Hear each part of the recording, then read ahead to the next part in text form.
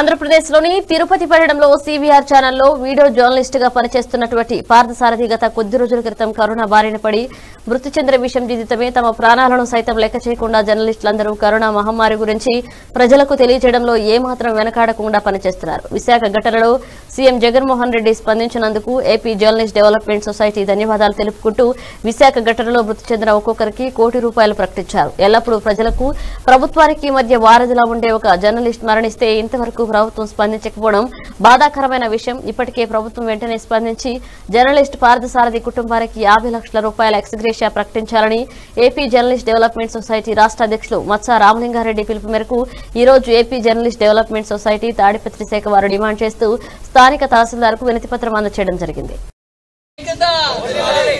కరోనాతో మృతి చెందిన జర్నలిస్టులకు కరోనాతో మృతి చెందిన జర్నలిస్టుకు కరోనాతో మృతి చెందిన జర్నలిస్ట్ కుటుంబానికి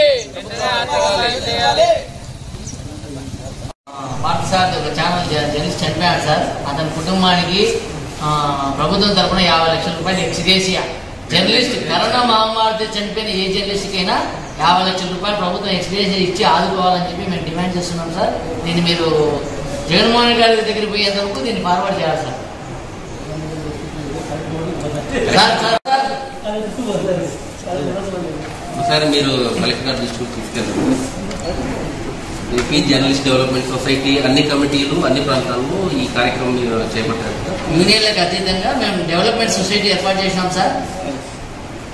వాస్తవానికి జర్నలిస్టులకు శాలరీ లేకుండా పనిచేస్తున్నారు సార్. వాళ్ళు చనిపోయినప్పుడు కనీసం కుటుంబానికి ప్రభుత్వం మేము ఉన్నాము అని చెప్పేసి భరోసా కల్పించాల్సిన అవసరం ఎంతైనా ఉంది. అధికారులు మీ పరిధి ఉన్నంత వరకు దాన్ని కలెక్టర్ గారు దృష్టికి తీసుకెళ్ళి ఆ చనిపోయిన కుటుంబానికి ఆర్థిక సాయం వెంటనే ప్రకటించే విధంగా చర్యలు తీసుకోవాలని చెప్పేసి మేము జర్నలిస్ట్ డెవలప్మెంట్ సొసైటీ తాడపత్రి శాఖ తరఫున కోరుకుంటున్నాం.